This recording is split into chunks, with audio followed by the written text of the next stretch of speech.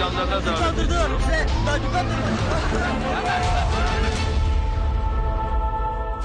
İyi akşamlar. Şov Haber'le karşınızdayız. Diyarbakır'ın Lice ilçesinde devam eden operasyonda bir asker şehit oldu. Çatışmalarda 8 terörist öldürüldü. Bir bomba yüklü araç da imha edildi. Diyarbakır'ın Lice, Hani ve Kulp ilçeleriyle Bingöl sınırları arasındaki 1000 kilometre karelik alanda 7000 komando ve özel harekatçı polisin katılımıyla başlatılan son yılların en büyük operasyonu devam ediyor. Bugün PKK'lı teröristlerle sıcak temas sağlandı. Teröristlerin açtığı ilk ateşte ağır yaralanan bir uzman çavuş kaldırıldığı hastanede yapılan tüm müdahalelere rağmen kurtarılamayarak şehit oldu. Aynı çatışmada 4 teröriste güvenlik güçleri tarafından ölü ele geçirildi. Operasyonda öldürülen terörist sayısı 19 oldu. Bombalı saldırı gerçekleştirmek için hazırlanan bir araçta güvenlik güçlerince imha edildi. Bölgede operasyon sürüyor. Sayın seyirciler siyaset sahnesinde referandum mesaisinde CHP liderinin sözleri gündemi belirledi. Yeni sistemde seçilmiş Cumhurbaşkanı ile Başbakan çatışabilir demişti Kılıçdaroğlu. İşte o sözleri üzerine başladı polemik. Cumhurbaşkanı dün akşam Kılıçdaroğlu'nu paketi bilmemekle eleştirdi ve 5 koyun verseniz kaybeder dedi. Cumhurbaşkanı başka bir partinin genel başkanı, başbakan da başka bir partinin genel başkanı. Asıl kavga o zaman çıkacak. Burada başbakan yok. O iş kapanıyor artık. Ya bunu dahi öğrenememiş. Bu saate beş tane koyun verin, beş tane keçi verin, kaybeder gelin. Miting meydanlarında hiç yapılmayanı yaptı. CHP liderinin anayasa paketine ilişkin açıklamalarını dinletti. O sözlere böyle yüklendi. Bilmiyor ya. Ya insan şu 18 maddeyi bir okumaz mı? Ben buradaki gençlerime bunu sorayım ona ders verir ders. Biz işte böyle sıkıntılar yaşanmasın diye Cumhurbaşkanlığı ile Başbakanlığı ne yapıyoruz? Birleştiriyoruz. Anladın mı Sayın Kılıçdaroğlu? Erdoğan Kılıçdaroğlu'nun paketi bilmediğini savundu. Yahu dersini hiç çalışmamış ya. Hayatı bunu hep böyle geçmiş. Cumhurbaşkanı eleştirdi, AK Partili gençler de toplantının hemen ardından harekete geçti. Türkiye'nin dört bir yanından postayla Kılıçdaroğlu'na 18 maddeyi anlatan Evet gazetesi gönderdiler. Yasamayla yürütme erki arasında anlaşmazlık çıkmasın diye iki seçimin bir arada yapılacağını söyledi Cumhurbaşkanı. Onun da dili sürçtü. 100 bin imza ile Cumhurbaşkanlığı seçimi de yapılır, parlamento seçimi de yapılır. Aslında söylemek istediği 100 bin imzayla Cumhurbaşkanı adayı olunabileceğiydi. Gençlere mesaj verirken bir kez daha hayır cephesine hedef aldı. Varsın hayırı savunanlar saçmalayıp dursunlar.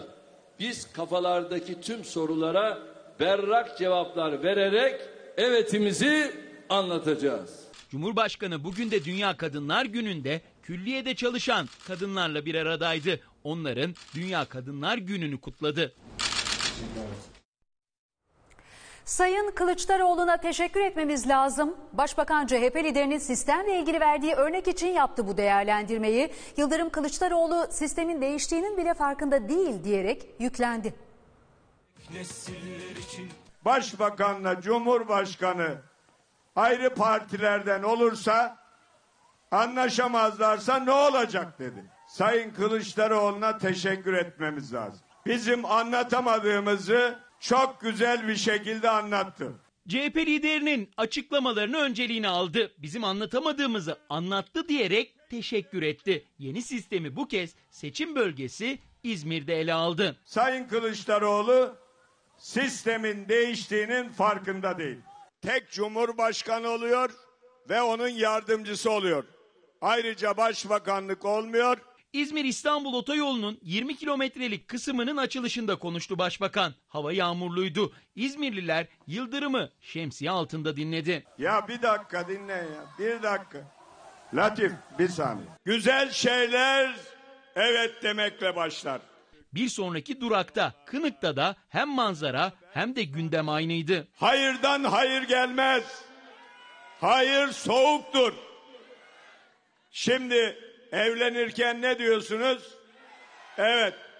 Hadi yemeğe gidelim deyince ne diyorsunuz? Terör örgütleri hayır diyor dedi. İzmirlileri anayasa paketine evet demeye çağırdı. İnşallah evet çıkacak terör örgütleri de bitecek. Kadınlar gününde unutmadı. Kadınlarımız bazen anamız, bazen bacımız, Önce Cumhurbaşkanı Erdoğan sonra da Başbakan Yıldırım peş peşe ekranlarınıza getirdik. İkisi de Kılıçdaroğlu'na bir radyo programında söylediği sözler üzerinden yüklendi. Bugün Sakarya'da CHP liderinin yanına yaklaşan bir isim Kılıçdaroğlu'na 8. maddeyi bilip bilmediğini sordu. Kılıçdaroğlu Sakarya'daydı. Elbap'ta şehit düşen sözleşmeler Ömer Akkuş'un baba ocağını ziyaret etti, başsağlığı diledi. O ziyaret sonrası kadınlarla bir araya gelecekti. Yolda onu bekleyenleri selamlamak için aracından indi. CHP liderine bir kişi Atatürk ilkelerini sordu. Atatürk ilkelerini sayabileceğiniz efendim. Bir zahmet efendim.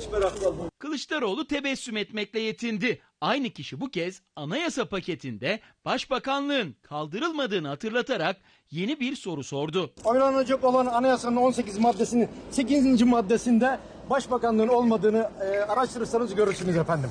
CHP'li kurmaylar tepkiliydi ama Kılıçdaroğlu sakin kaldı. AK Partili değilim ben. Hayır hayır. Ben size Değilim efendim. AK Partili değilim. ben size şunu söyleyeyim. Hepinizi biliriz. Ben size şunu söyleyeyim. CHP lideri o gün ne demek istediğini anlattı. Diyelim ki seçimler oldu. Bir parti çoğunluğu sağladı. Tamam, tamam. Parlamento. Tamam efendim. Şimdi diyelim ki ilk seçimde yüzde 51'i tutamadı. Tamam.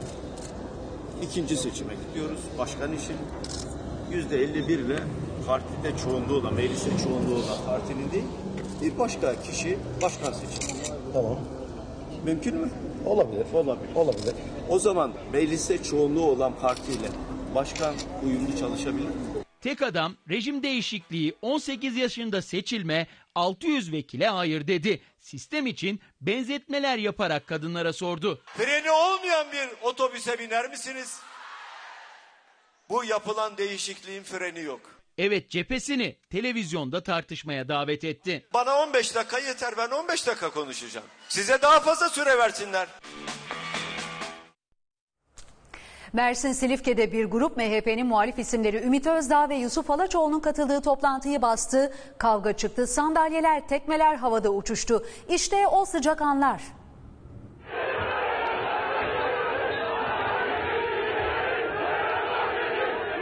MHP'nin muhalif isimleri Ümit Özdağ ve Yusuf Halaçoğlu'nun Silifke'de yaptıkları toplantıyı bastı bir grup.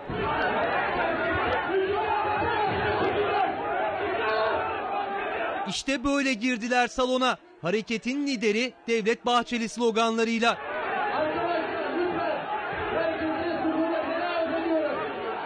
Ortalık bir anda savaş alanına döndü. Sandalyeler, yumruklar havada uçuştu. Gruptakilerin bellerindeki silahlar kameralara takıldı.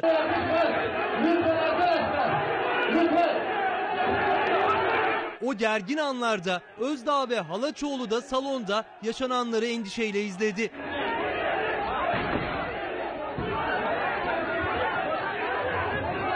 Kürsüyü de işgal ettiler. Aralarından biri mikrofonu ele geçirdi. Tansiyon daha da yükseldi. Sükunet çağrıları ise işe yaramadı. Özdağ ve Halaçoğlu'nun katıldığı toplantıya işte bu baskın anı damgasını vurdu.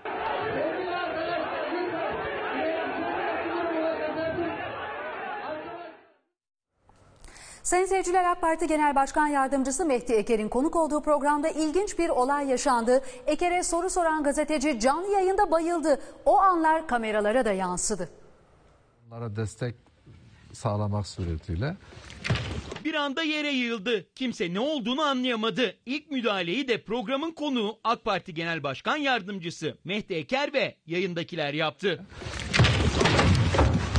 Ünal aslında rahatsızlığını hissetti. Bir yudum su içti, elini yüzüne götürmek istedi. Ama dermanı kalmamıştı. Yana doğru devrildi. Mehdi Eker ve programa katılanlar şok oldu.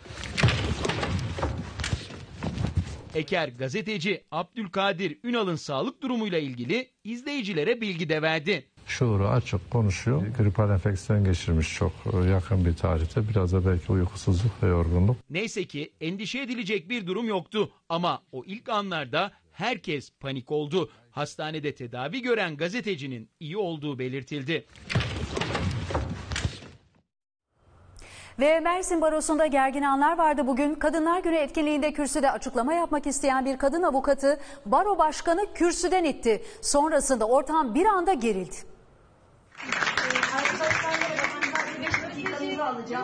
Kadın hakları hukuk olarak istifaya zorlandığım Kürsüye konuşma yapması için davet etti, konuşması başlayınca itti.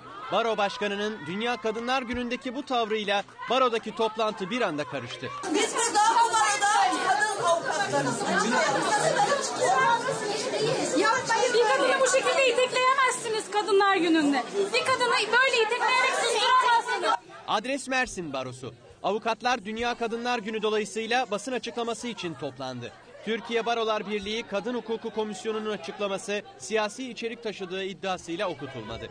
Şimdi sizlere Kadın Hakları Merkezimizin Kadın Hakları Günü'ne ilişkin açıklamasını yapmak üzere merkezde görevli sevgili meslektaşımız Gözde Göçer'i buraya davet ediyoruz. Başkanım ben sadece bir söylemek istiyorum. Kürsüye Gözde Göçer değil bir başka avukat çıkınca baro başkanı onun konuşmasını susturmaya çalıştı.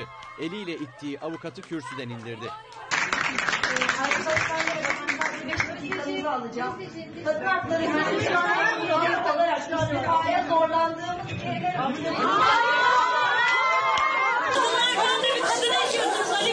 Kadınlar Günü'nde başkanın kadın bir meslektaşına böyle bir tavır sergilemesi ortamın gerilmesine neden oldu. Biz zaten siyaset yapmıyoruz. Hayır biz en baştan beri zaten siyaset yapmıyoruz. Siz ikili meslektaşları tutunuyorum. Ne okuyacağını daha bilmiyorsunuz. Ne okuyacağını daha bilmiyorsunuz. Siyaset yapacağını nereden biliyorsun? İğnenin kuklasısınız. Biz istifa metnimizi okuyacağız. Siyaset yapmayacağız ya. Başkan Er daha sonra kadın avukata açıklamasını yapması için izin verdi. Kadın Hakları Merkezi Başkanı ve üyeleri görevlerinden istifa ettiklerini açıkladı. Kadın Hakları Merkezi üyeleri olarak istifa etmek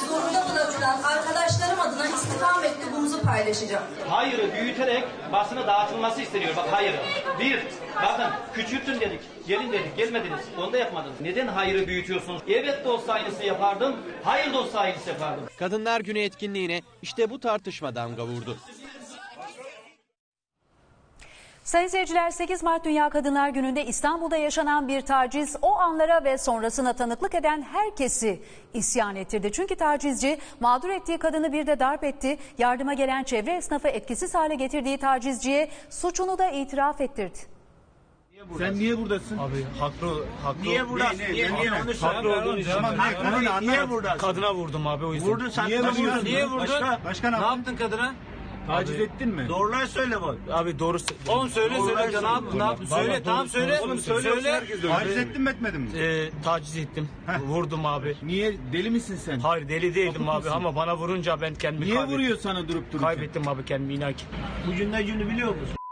Bugün Dünya Kadınlar Günü. Minibüsteki tacizi böyle itiraf etti. Taciz ettiği kadından tepki görünce de vurmaya başladığını söyledi. Esenyurt'ta yakalanan sapık, taciz ettiği kadınla yüz yüze getirildiği o anlarda linçten zor kurtuldu.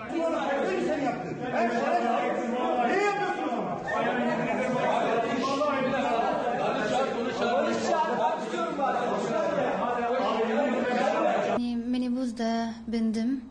Ee, bu erkek e, taciz etti beni. Ee, ben çok korktum. Bana yumruk vurdu. Tüm erkekler yani Türk bana yardım ediyorlar. Saldırgan genç kadını minibüste taciz etti. Ardından minibüs burada durduğu anda o kadını minibüsten aşağı indirmeye çalıştı. Kadın o anda çığlık attı ve saldırgan kaçmaya başladı. Dakikalar sonra esnaf o tacizciyi yakaladı ve tacizci için zor anlar başladı. Korkudan tir tir titreyen kadının yardımına gidenler onu bir rezidansın giriş katında sakinleştirmeye çalışıyordu. Tacizciyi yakalayanlar önüne getirip diz çöktürttü. O anlarda kadın da tacizciyi teşhis etti. Kadın zaten şoka girmişti. Konuşamıyordu. Buraya çocuğu tekrar getirince buraya bayıldı tekrar görünce. Kadın fenalaştı yani. Kadına direkt gözüne vurmuş zaten. Tekme atmış kadına o minibüste. Arkadaşlar lütfen dışarıda bekleyelim polis gelsin. Önüne diz çöktürdüler. Kadından oradan af dile, af dile olayını yaptılar işte. Daha sonra işte orada özür diledi falan. O anlara tanıklık edenler öfkeliydi. Tacizciyi yakalayanlar polis gelene kadar onu güvenlik odasına aldı. Tacizci kendini acındırmaya çalıştı. Dakikalar önce tehdit ve küfürler yağdırdığı halinden eser kalmamıştı. Sen, sen giderken aşağı ne küfür ediyordun? Benim anama sen, sen, Abi bana vurdular ya, Sen, canım sen, var. Gö- sen Gökhan abiye ne küfür ediyordun? Benim Bak, anama sen, küfür sen, ediyordun. sen, ona Abi bir- sizden özür diliyorum. Siz Bak, küfür ediyorum, bak, sizden bak dilerim. abisi burada. Sen ona bir küfür ediyordun. Abi ben muşluymuş bir de ya. Allah be ulan yakışır mı lan sana? Abi ben bir şey... Ulan oğlusun sen ya. Abi yemin ediyorum sizden özür diliyorum kurban olurum. Abi tamam. Vallahi. Tacizciyi yakalayanlar polisi beklerken onu dışarı çıkardı. Az önce minibüsteki kadını taciz ettiğini de böyle itiraf etti. Niye buradasın? Sen niye buradasın? Abi haklı haklı. Niye buradasın? Niye, niye, onu söyle. Haklı olduğun için. Tamam, ne, konu ne, Niye buradasın? Kadına vurdum abi o yüzden. Vurdun sen. Niye vurdun? Niye vurdun? Başka, başka ne Ne yaptın? yaptın kadına? Taciz ettin mi? Doğruları söyle bak. Abi doğru Oğlum söyle Doğruları söyle. Ne yaptın? Ne yaptın? Söyle tamam söyle. söyle. Oğlum söyle. Taciz ettin mi etmedin mi? Ee, taciz ettim. Vurdum abi. Niye? Deli misin sen? Hayır deli değildim Sapık abi mısın? ama bana vurunca ben kendimi Niye kaybettim. vuruyor sana durup dururken? Kaybettim abi kendimi inan ki. Bugün ne günü biliyor musun? Bugün Dünya Kadınlar Günü. Baktık kurtuluşu yok. İtiraf etmeye başladı. Kendi ağzıyla itiraf etti. Olay yerine polis de elinde çiçeklerle geldi. Taciz mağduru kadına bir anlığına da olsa bugünü yaşaması gerektiği gibi yaşatmaya çalıştı. Bayan mı tacize uğradı? Bu bayan kardeşim. Olmuştan inerken. gidiyor alayım.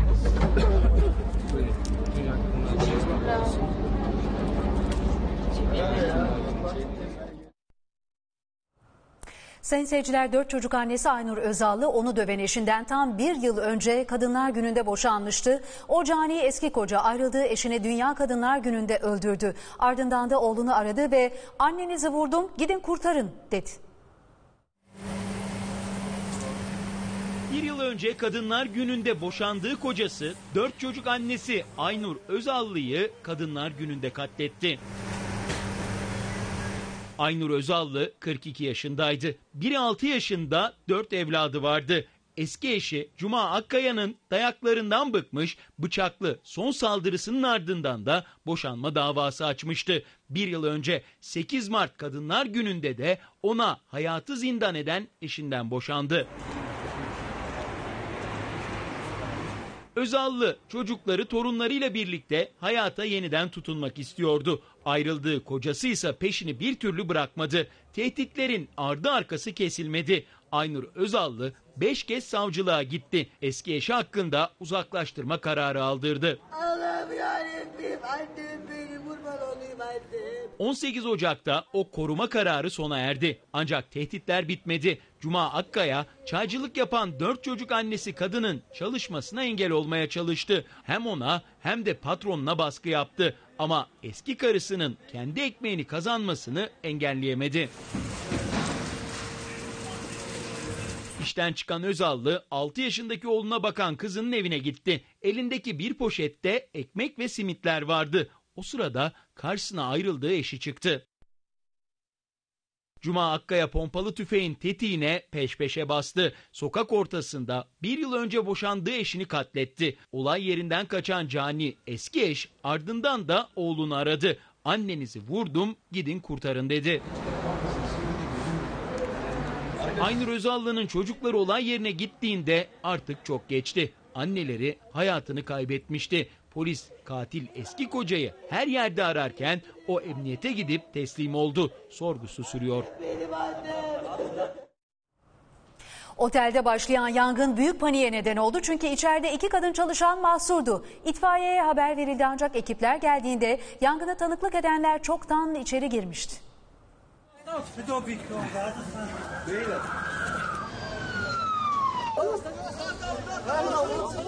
Dumanla kaplı binada mahsur kalan iki kişinin yardımına çevredekiler koştu. Dumandan zehirlenen iki kadın otel çalışanı kurtarıldığında kendinde değildi. Onları kurtaranlar çağrılan ambulansı böyle bekledi. Yüksekova'da 7 katlı otelin 4. katındaki bir odada başladı yangın. İddiaya göre elektrik kontağından çıktı. Bir anda tüm oteli duman kaplayınca otel çalışanları ve müşteriler kendilerini güçlükle dışarı attı. Ancak iki otel çalışanı çıktıkları teras katında mahsur kaldı. İki kadının imdadına çevredekiler yetişti. Otele yangın merdiveninden girenler baygın halde buldukları iki kadını kollarında otelin dışarısına çıkardı.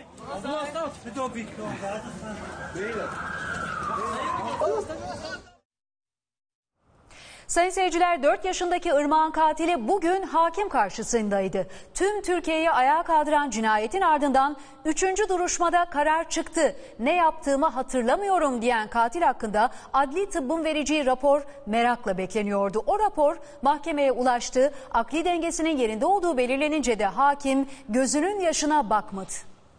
Sarı evin ya, bu, bu bağ içleri bir yerde olacak. Şu İki sarı- sarı evin Ha, ortasında. ha, sarı, sarı evin şurasında şurada olacak. 4 yaşındaki Irmak'ı feci şekilde katletti, ardından cansız bedenini yok etmeye çalıştı.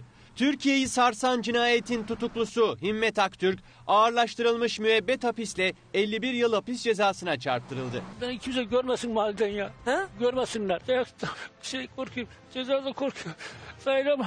Kararı Irmak'ın ailesinden sadece babası ve dedesi öğrenebildi. Çünkü katil cezasını beklerken baba katliam yaptı. Irmak'ın annesi ve kardeşini öldürdü. Ardından da kendi canına kıymak istedi. Babacığım vurma, babacığım vurma. Yapma, yapma dedim çok bağlı. Takvimler 14 Ekim'i gösteriyordu. Kupalı ailesinin 4 yaşındaki kızı Irmak kayboldu. Uzun süre hiçbir iz yoktu. Ta ki komşuları Himmet Aktürk'ün itirafına kadar. Irmak'ın cansız bedeni evine 3 kilometre uzaklıkta bir tarlada bulundu. Akşam gece. Ben akşam götürüp getiririm bunlara. E neredeydi çocuk o zaman o zamana kadar? Bir yere koyacağım.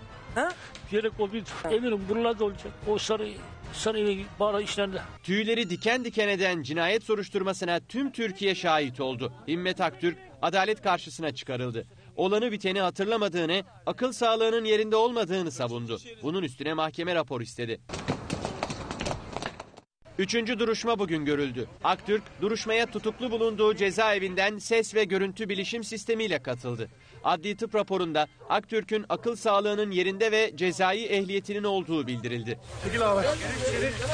Adli tıp raporunun ardından mahkeme en üst sınırdan ceza verdi. 4 yaşındaki kızı canice katledip gömen katili ağırlaştırılmış müebbet ve 51 yıla mahkum etti. Karar Irmak'ın dedesi salondan çıkarıldıktan sonra okundu. Geçtiğimiz ay Irmak'ın annesi ve kardeşini katleden baba ise kararı cezaevinde öğrendi. Korkma, sakin ol. Sayın seyirciler polis telefon dolandırıcılarını yakaladı. Zanlıların cep telefonlarında delil araştırması yapılırken dedektifler çok çarpıcı görüntülere ulaştı. Şebeke üyeleri çaldıkları paraları kutlarken o anları cep telefonu kameralarıyla kaydetmişti. Özellikle kim düz? Özellikle Cuma Bey çok dürüst yani.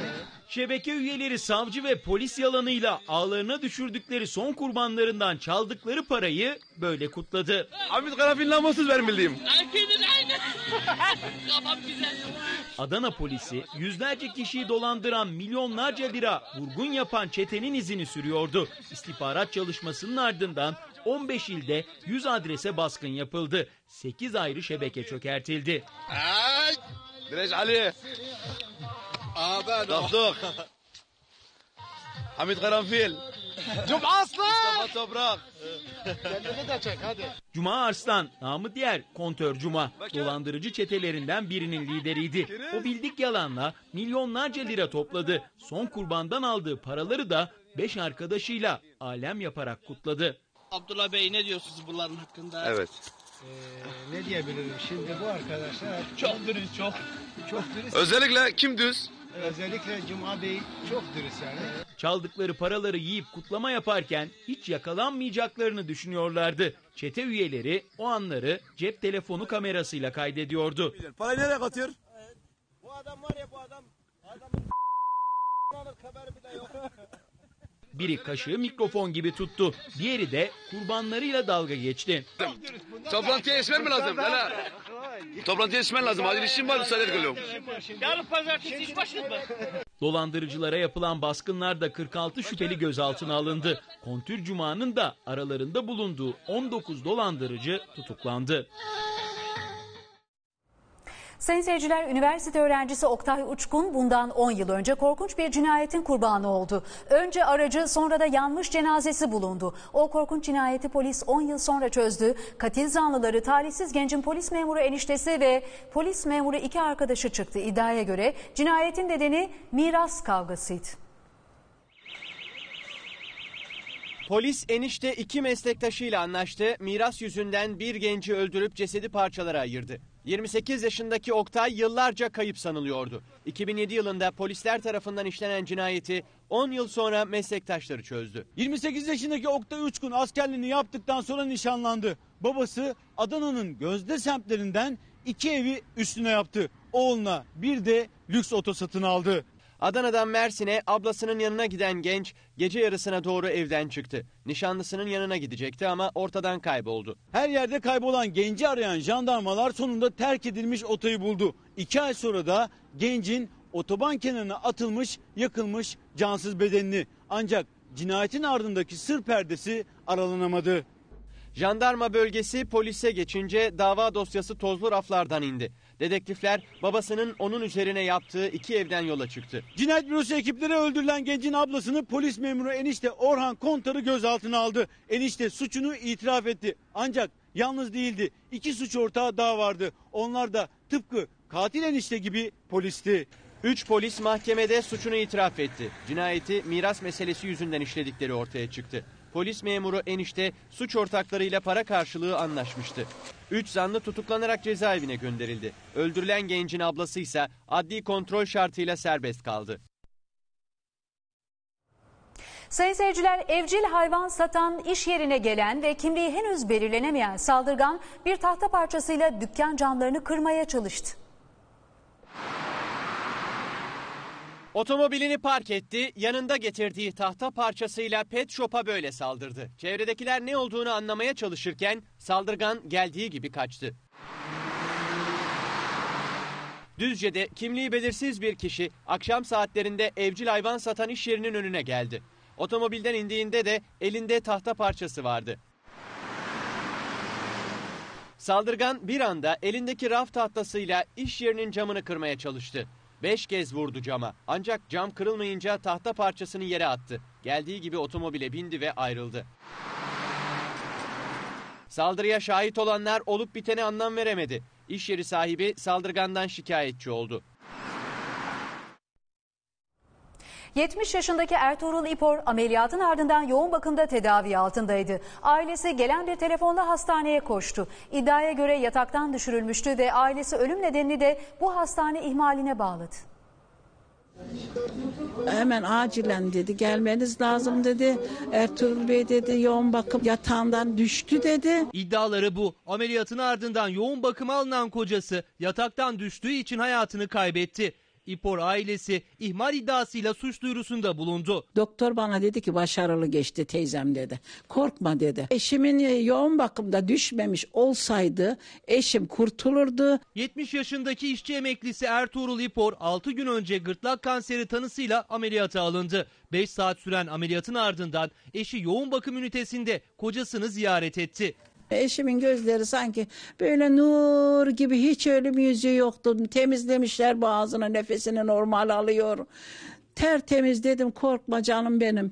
İpor ailesi evlerine gitti. 2 saat sonra telefonları çaldı. İddiaya göre arayan hastaneden kadın bir doktordu. Ertuğrul İpor'un yataktan düştüğünü ve tomografisinin çekildiğini söyledi. Hemşireye dedim ki kızım dedim. Bu dedim elleri bağlı olması gerek değil miydi dedim. Niçin dedim yani şey yaptınız çözdünüz. Diyor ki bilinci diyor yerindeydi diyor. Ben de çözdüm teyze dedim. Ama e, ölüm yüzü çökmüştü gözleri baygın baygın. İpor'un ailesi tomografinin ardından evine döndü. Telefonları sabaha karşı bir kez daha çaldı. Bu kez hastaneden arayan kişinin sesi daha telaşlıydı. Hastaya kan lazım acele dediler hastaneye gelmeniz gerek. Eşinizi dostunuzu toplayın kan alınacak diye bizi telaşa verdiler. Öldü demediler. Hastaneye gidince aldılar acı haberi. Ertuğrul İpor hayatını kaybetmişti. Düşmesi sonucunda şah damarı patlamış, kan, e, ka- çok kan gitmiş. İpor'un yataktan düşme sonucu öldüğünü iddia eden aile suç duyurusunda bulundu. Ölüm nedeninin ortaya çıkması için otopsi istendi.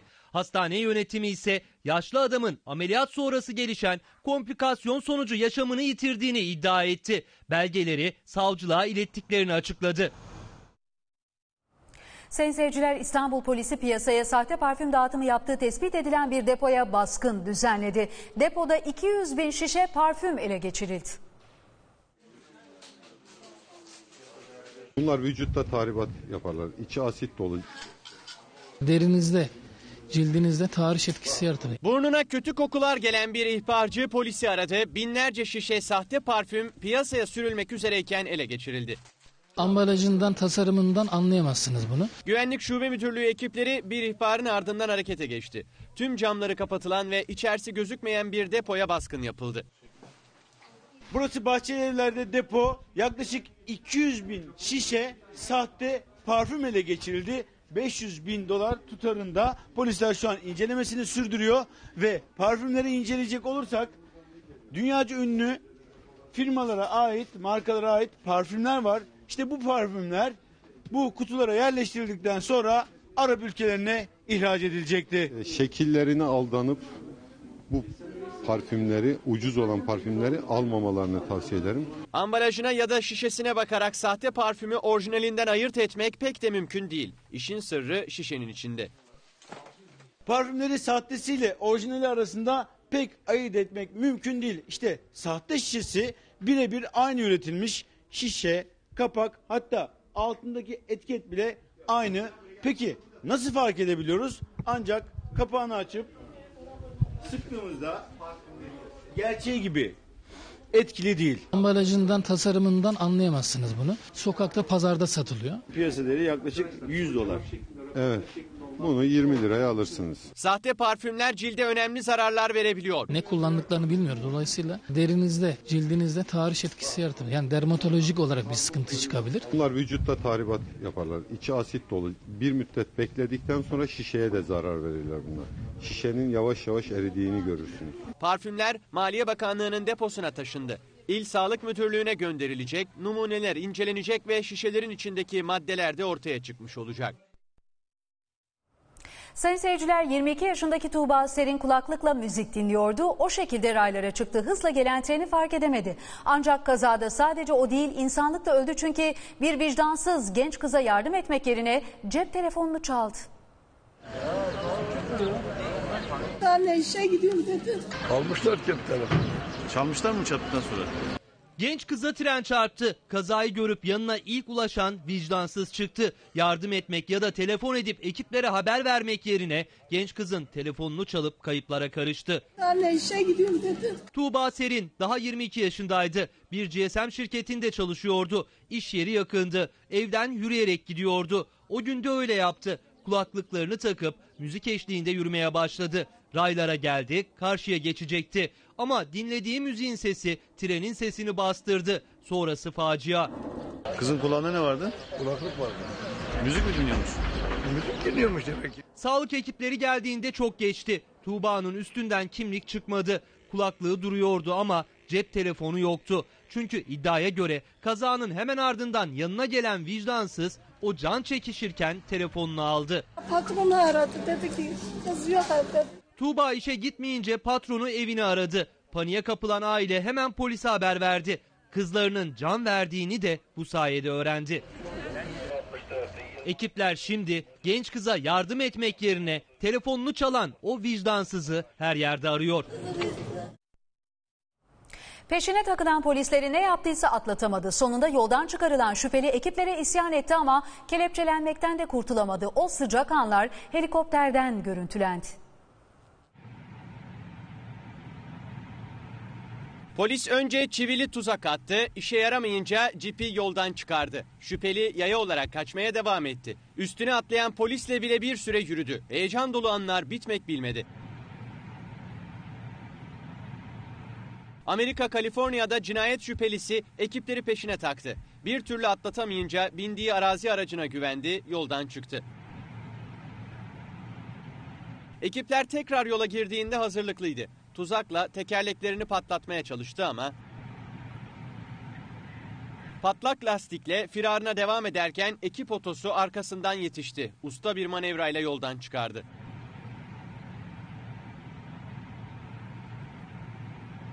Şüpheli polislere söylene söylene aracından indi. Ekipler silahsız olduğunu anladıkları anda peşine düştü. Takip yaya olarak devam etti ama uzun sürmedi. Zanlı üstüne atlayan polisi de bir iki adım taşıdı ama sonunda pes etti. Demir parmaklıkların arkasına gönderildi. Sayın seyirciler İstanbul Kartal'da öyle bir bina var ki hırsızlar adeta o binayı mesken tuttu ve sormadık daire bırakmadı. Yeni evli çiftin çeyizleri de hırsızların hedefi oldu. Güvenlik kameraları caydırıcı olmayınca apartman sakinleri son çare WhatsApp üzerinden bir hırsız ihbar hattı kurdu.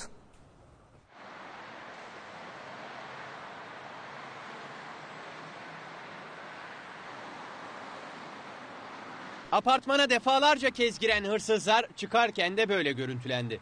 Binada yaşayanlar nöbet tutmaya başladı. Önlem içinde aralarında hırsız var dikkat adını verdikleri bir WhatsApp grubu kurdu. Burada amacımız daha hızlı haberleşme.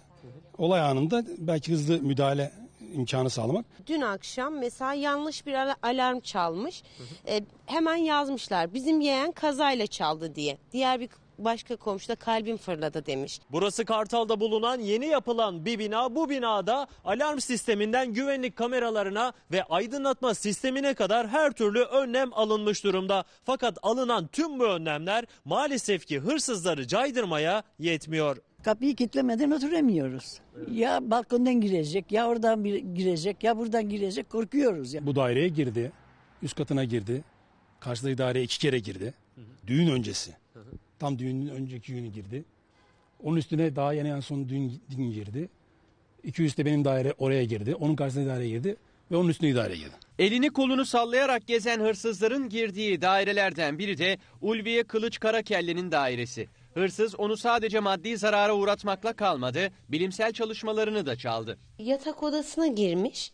Ee, takıların falan buradaydı. Bütün bu çekmeceler falan yerdeydi. 5 gün önce binanın 3. katına gelen hırsızlar bu daireden 2 bilgisayar ve yaklaşık 6 bin liralıkta altın çaldı. Daha sonra içeriden birilerini fark edince çaldıklarıyla birlikte işte bu balkona geldi ve 3. kattan da aşağı atladı. Geldiğimizde yere düşmüştü. Ee, bu buradan sırtında da sırt çantam e, koşmaya başladı. Hırsızlar en son geldiklerinde binaya yangın merdiveninin kapısından girdi. Ellerindeki levye ile kapıyı zorlayarak açtı ve içeriye girdikten sonra da tüm dairelere tek tek girdi. Düğün günü takılan altınlarımız vardı. Nişan yüzüklerimiz vardı. Onları çaldılar götürdü. Televizyonumuzu götürdüler. Yeni almışık bir haftalık 4 bin liralık televizyonda onu götürdüler. E, 20 bin lira kadar nakit paramız vardı evde onu götürdüler. Bugün de Dünya Kadınlar Günü şiddete hayır diyoruz ama can güvenliğimiz tehdit altında olduğu için bu şekilde elimizi sopayla nöbet tutuyoruz, bekliyoruz. Sürekli hırsız giren binanın sakinleri de hırsız var dikkat başlığıyla bir WhatsApp grubu kurdu ve hırsızlıkla ilgili tüm detayları da apartman sakinleri bu WhatsApp grubunda konuşmaya başladı. Mesela daire ön- 14'te matkap çalışıyormuş. Ee, bina sakinlerine duyuruluyor korkmayın bizde matkap çalışıyor diye.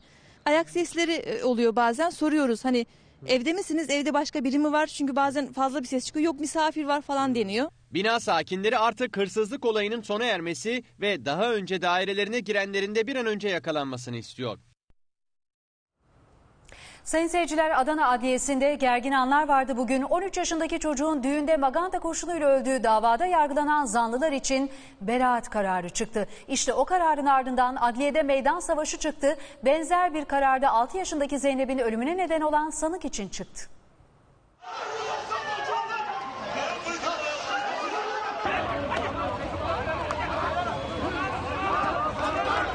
Maganda kurşunu davasında beraat kararı çıktı. Adliyenin önü bir anda karıştı. Hayatını kaybeden çocuğun ve yargılanan sanıkların yakınları birbirine girdi.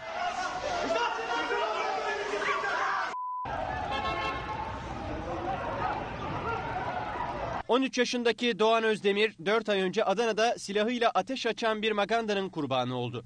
Gelinin babası 51 yaşındaki Medeni Ayırmaç, 25 yaşındaki Hamza Çelik ve damat 26 yaşındaki Reşat Sönmez düğünde ateş açtıkları iddiasıyla gözaltına alındı.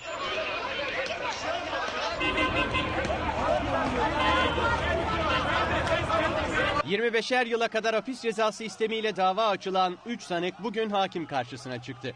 Gelinin babası ve Hamza Çelik kuru sıkı silahla ateş ettiğini söyledi. Damatsa elime davetlilerle tokalaşırken barut bulaşmış olabilir dedi.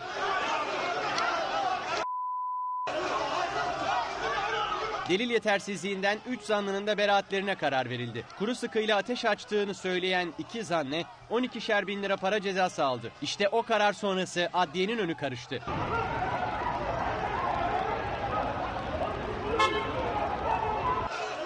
Polisler iki gruba da biber gazıyla müdahale etti. Ekipler tarafları güçlükle ayırdı. Benzer bir karar da Gaziantep'ten geldi. 6 ay önce bir sitede kavga sırasında havaya ateş eden bir asker 6 yaşındaki Zeynep'i doğum gününde başından vurdu. Zeynep Korkmaz öldü. O kurşunu sıkan sanık için mahkeme tahliye kararı verdi. Bir şey yapamadık. Hiçbir şey yapamadık. Evladım gözümün önünde. Ciğerim gözümün önünde söndü. Doğum günü pastasını al- aldık. Kesemedik. Ailenin acısı ikiye katlandı. Kasten adam öldürmekten açılan dava kaza denilerek sonuçlandı. Uzman çavuşun silahından çıkan kurşunla ölen Zeynep'in ailesi karara isyan etti. Sayın seyirciler Sarıyer'deki hafriyat kamyonu faciasında 5 yaşındaki torununu kaybederek ölümden dönen kadına trafik ihlalinden dava açıldı. Savcılık ölümden dönen babaannenin ise 6 yıla kadar hapsini istedi. tutuklama kararı çıkarsa da ben gider yatarım anamın yerine. Ben o zaman çocuğumu ben öldürmek mi istedim acaba?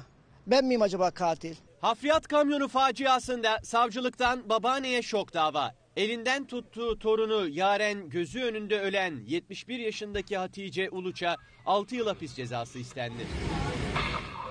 Şimdi kaburga kırık. E, ne yapabilirim şimdi? Anneye ben bu durumu söylersem anne kalp krizinden gidecek öbür tarafa. E, o zaman iki kişi öldü. Ne olacak? İstanbul Sarıyer'de 3 ay önce 5 yaşındaki Yaren Aluç'un hayatını kaybettiği, 71 yaşındaki babaannesinin ölümden döndüğü kazaya ilişkin soruşturma tamamlandı. Kazada çocuklarını kaybeden aile iddianame ile bir kez daha yıkıldı. Ya ben zaten şu an şoktayım zaten. Ben şu an yaşamıyorum ki. Ölüyüm yani. Ben tazik bir yavrumu kaybetmişim ve anamı da yatağa bırakmışım. Böyle bir şeylik varsa ben yatarım abisi. Yaren 5 yaşındaydı. Babaannesiyle beraber okula giderken bir hafriyat kamyonu geldi ve onu ezerek ölümüne neden oldu. Sürücü tutuklandı. Hakkında iddianame hazırlandı. Ancak savcılık sadece sürücüyü değil olayda ihmali olduğunu düşündüğü babaannenin de 6 yılla cezalandırılmasını talep etti. Annem şu an perişan. Yani annem şu an yatarak evde yani. Yani oğlumun da şeyi bozuk. Kamyon sürücüsünün trafik kurallarını ihlal ederek Yaren'in ölümüne, babaannesinin yaralanmasına yol açtığı kaydedilen iddianamede, babaanne ise trafik kurallarını ihlal ederek torununun ölümüne sebebiyet vermekle suçlandı. Devlet veya neye göre kararı annem suçu bulmuş? Suç nerede? Yayanın caddede yürüme hakkı yok mu? Yani ben annem götürürken çocuğu okula götürmüş. Hatice teyze 71 yaşında torununun ölümünden beri evden dışarı çıkmıyor. Hakkında yürütülen soruşturmayla ilgili de henüz bilgisi yok. Eğer dava aleyhine işlerse 71 yaşındaki Hatice teyze ihmalen ölüme sebebiyet vermekten cezaevine girecek. Vallahi ben bunu bir doktor getirmeden doktor işini söylemek zorundayım. Tutuklama kararı çıkarsa da ben gider yatarım anamın yerine. Anamı ben sokmam oraya. Madem adalet ad- benim anamı tutukluyorsa gelsin beni tutuklasınlar abi. Ben yatmaya razıyım. Kazanın yaşandığı caddeye araçlarını park eden 3 sürücü için de 15 yıla kadar hapis cezası talep edildi. Başsavcılık tarafından onaylanan iddianame mahkeme tarafından kabul edildi. Haklarında dava açılan 5 şüphelinin önümüzdeki günlerde hakim karşısına çıkması bekleniyor. Eğer doğruysa iddialar hem çok korkunç hem de çok vahim. Üst düzey devlet sırlarını afişe etmesiyle bilinen Wikileaks, CIA'nin siber casusluk yöntemlerini açığa çıkardı. Zaten şehir efsanesi gibi konuşuluyordu bu kez belgelendi. Eğer ortamda bırakın telefonu bir bilgisayar, otomobil hatta buzdolabı bile varsa ortam dinlenebiliyor. Görüntülü kayıt bile yapılabiliyor. Yani herkes evinde bile gözetlenebiliyor. Evinizde televizyon seyrettiğinizi sanırken aslında televizyonunuz sizi izliyor olabilir. Bilgisayar, telefon, otomobil hatta buzdolapları bile yasa dışı dinlemeler için kullanılıyor. televizyonu kapattığınızı zannederek e, yanılgıya düşebilirsiniz. Dünyayı sarsan iddialar daha önce de milyonlarca gizli belge yayınlayan Wikileaks'e ait. O yüzden uzmanlar ciddiye alıyor. Site önceden duyurduğu CIA'ya yönelik en büyük ifşasına başladı. Wikileaks CIA'nin dünya çapında yaptığı siber operasyonlarla ilgili yöntemlerini belgelerle ortaya çıkardı. İddialarsa çok büyük. Hatta milyonlarca akıllı cihaz kullanıcısını yakından ilgilendiriyor. İddiaya göre kullandığımız akıllı cihazlar bizi ya izliyor ya da dinleyebiliyor.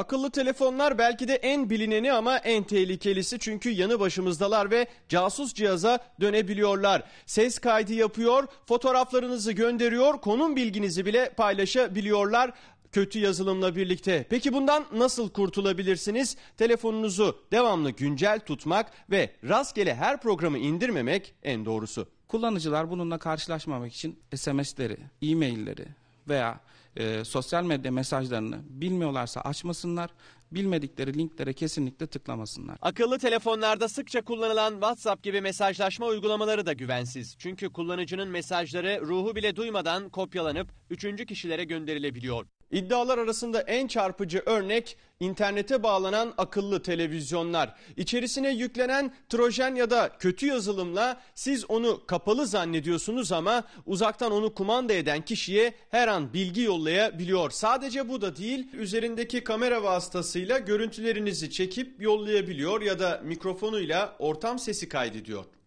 Akıllı televizyonların içerisinde batarya yok. Televizyonu kullanmadığınız zaman fişinden çekin.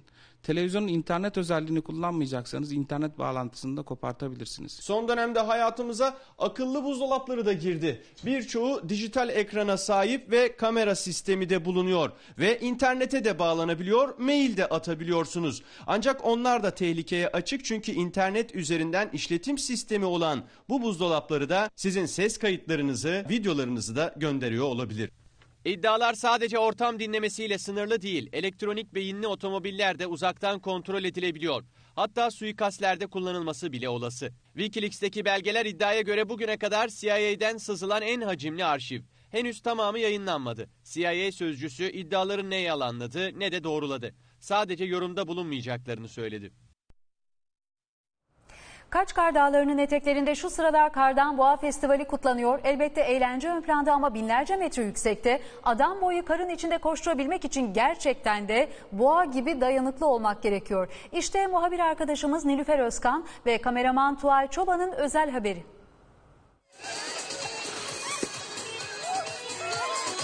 Kaçkar Dağı'nın vahşi ama bir o kadar da güzel tabiatı bugünlerde Kardan Boğa Festivali'ne ev sahipliği yapıyor. Profesyonel kayakçılar civar köylerin sakinleriyle bembeyaz manzaranın tadını çıkarıyor.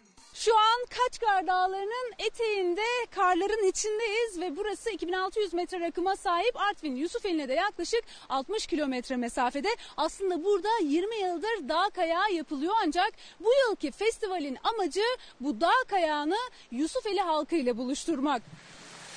Yusufeli'den geliyoruz biz. Bayağı yol geldik ama çok değdi. Yusufeli'li Mehmet Bayram'ın yanına gidiyoruz. O şimdi dağ kayağını ilk kez yapacak. Tabii önce hazırlıklarını yapması lazım. Kayak malzemelerini yanına aldı. Nasıl gidiyor hazırlıklar Mehmet abi? İyi iyi şu anda iyi. Heyecanlı mısın? Hem de ki nasıl? Nereden geliyorsun? Elinden geldim. Kayak yapacağım. Mehmet Bey geliyor yalpalaya yalpalaya. Aman! Mehmet Bey iyi misiniz? Geçmiş olsun. Sağ ol Allah razı olsun. Şu anda herhalde bir şey yok da. Vallahi bravo kaydınız geldiniz. Çabuk kaptınız işi. Yardım edelim efendim size şöyle. Kırık çıkık yok değil mi? Komşularınıza da anlatacak mısınız gidince köye? Herhalde canlı yayında izleyecekler bunu yani. Heveslenecekler yani.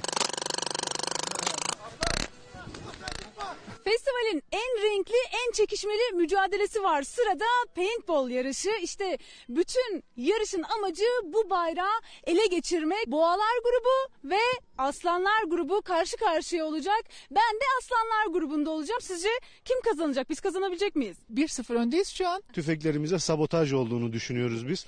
Ee, birazdan e, sahada onun karşılığını alacaklar inşallah. Evet gördüğünüz gibi iki takım da gayet iddialı. O zaman ne diyelim? Yarış da başlasın görevde. 1, 2, 3, boğulun! 1, 2, 3, aslanlar! bekle bekle. Yalnız benim silahımda bir sorun var. Çünkü boyalar ileri gitmiyor. Bayrağı almaya gidiyorum. Koş koş. Takım beni koru. Tamam. Ah. Evet. Bayrağı aldım. Ah, ah. Aslanlar bayrağı aldı ama biraz zor oldu. Kaskım kaydı, gözlüğüm çıktı. Ama bu macera yaşamaya değerdi. Yusufeli Turizm Geliştirme Kooperatifi dağ kayakçılarıyla köy halkını dördüncü kez buluşturdu. Bununla mı kaydınız evet, bakayım? eğlendik, düştük. Ee, çok Şimdi bir daha düşerken çekeceğiz sizi bununla. Ee, çekin, yine düşeriz. Ee, işin eğlence kısmı zaten orada. Nasıl kaçkarlar güzel mi? Güzel ilk kez görüyoruz ve çok memnun olduk. İyi ki geldik. Olgunlar Kardan Boğa Şenliği'nin bir özelliği de kardan işte böyle heykeller yapmaları. Burada bir iglo yapmışlar. Eğer kalacak yerimiz olmasaydı orada da kalabilirdik ve burada da bir boğa var kardan. Bu da işte festivalin simgesi ve festival ekibi bizim için de bir sürpriz hazırlamış. Ve işte bu anı ölümsüzleştirmek için boğa heykelinin üzerine şov haber yazmışlar.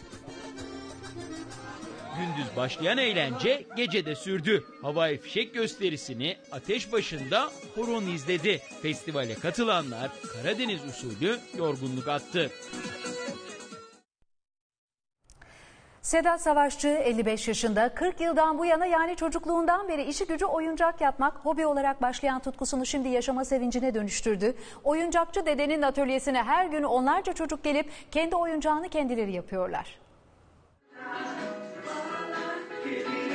Ben de yunu yaptım. Kendi 3 torunu için kukla yapmaya başladı. Artık yüzlerce torunu var. Oyuncakçı dede dükkan açtı. Mahalle çocuk sesleriyle çınlamaya başladı. Sen ne yaptın? Bolina. Bütün minikler hummalı bir çalışma içinde. Yumuk yumuk elleriyle oyuncak yapma telaşındalar. Çünkü istedikleri her şeyi dedelerinin atölyesinde yapabiliyorlar. Kendi oyuncaklarını yapıyorlar. Yapmış olduğu oyuncakları da alıp evlerine götürüyorlar. Sarı, mavi, pembe, kırmızı, kırmızı. Bunu sen boyadın. Sen mi kullanacaksın şimdi? Evet. Buradan Bundan alacak, evine götürecek, odasına asacak. Masal Diyarı gibi bir oyuncak atölyesi Hacivat'tan Karagöz'e, Bugs Bunny'den Nasrettin Hoca'ya kadar burada birçok masal kahramanının oyuncağı bulunuyor. Bunların hepsi oyuncakçı dede tarafından yapılıyor burada. Tabii ki birbirinden güzel minik yardımcılarıyla. Şimdi Balık. Sen mi yaptın bunu? Evet. Neden oyuncakçı dedi. Şimdi üç tane torunum var. Bu yaştan sonra dedim artık torunlarıma yardımcı olayım. Böyle bir atölye açtım. Çocukları mutlu görmek beni de mutlu ediyor. Bu oyuncakları bize hediye edecek misiniz? Öyle mi? Hediye oluyor mu? Hediye edebiliriz seve seve. Kukla, biblo, oyuncak. Sedat Savaşçı'nın elinden her iş geliyor. Çocuklar için boya sınırsız. Masal kahramanlarını kendi hayallerine göre rengarenk süsleyebiliyorlar. Önlükler giyildi. Her çocuğun elinde boyası ve fırçası var. Masasında da yapmak istediği ahşap oyuncaklar var. Birazdan onları kendileri boyayacaklar ve istedikleri oyuncakları kendileri yapacaklar. Boyama yapıyorum. Ne o balık mı? Bittiğinde ne olacak? Kuruyacak. Bakayım. Aferin. Bu kurusun alıp evine götürüp duvarına asarsın tamam mı kızım? Elleri görüyorsunuz hepsinin eli rengarenk. Saatlerden beri buradalar. Hepsinin eli boya oldu tabii ki ancak sıkıntı değil. Bunlar su bazlı boya olduğu için birazdan yıkadığında boyaların hepsi gidecek ve ellerinde de çok istedikleri o oyuncaklar kalacak. Minikler oyuncakçı dedelerinin atölyesinde çok mutlu. Tek sıkıntıları akşam olunca eve gitmek zorunda kalmaları. Sayın seyirciler hayvanat bahçesindeki havuza ziyaretçiler şans getirmesi için bozuk para attı. Para göz kaplumbağada hepsini yuttu midesinden adeta bir servet çıktı. Havuza atılan ne kadar bozuk para varsa hepsini yuttu. Kaplumbağanın karnından 7 saatlik operasyonla 915 metal para çıkarıldı.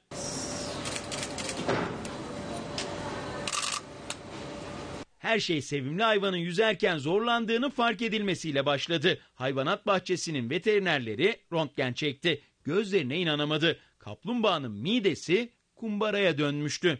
Hemen ameliyata alındı. Tayland Hayvanat Bahçesi'nin 5 veterineri 7 saat boyunca midesinden adeta servet çıkardı. Dile kolay 5 kilo ağırlığında tam 915 metal para yutmuştu. Çıkar çıkar bitmedi.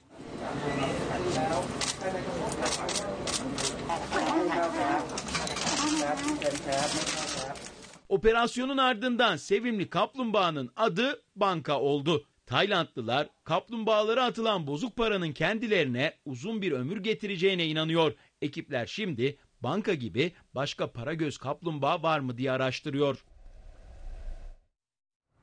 Sayın seyirciler İstanbul'un karmaşasında kanter içinde gidecekleri yerlere koşturanlar bir kız çocuğu sayesinde hayatın telaşesine kısa bir mola verdi. Sokak müzisyenlerine eşlik eden minik kız o kadar içten dans etti ki onunla birlikte herkes keyfini çıkardı.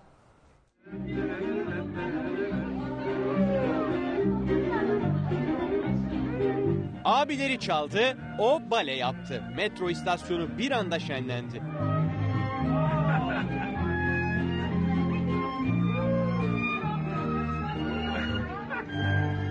Burası İstanbul. Sokak müzisyenlerinin performansı metro istasyonundan geçen onlarca kişi arasında minik kızı adeta büyüledi. Annesi her ne kadar gidiyoruz dese de kendini müzikten alamadı. Sonunda kendi de o gösteriye katılmaya karar verdi. Montunu çıkardı, bale yapmaya başladı. O andan sonra da oradan geçen kimse kayıtsız kalamadı.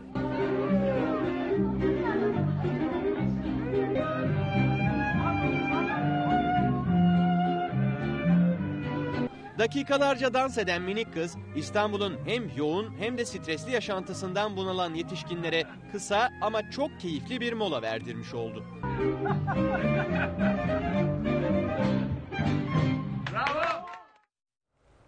WhatsApp ve BIP ihbar hatlarımızı hatırlatalım 0536 266 90 0 ya da 90 02. Şimdi reklam arasına gidiyoruz.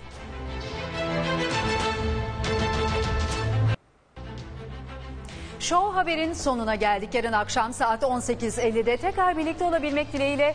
Hoşçakalın.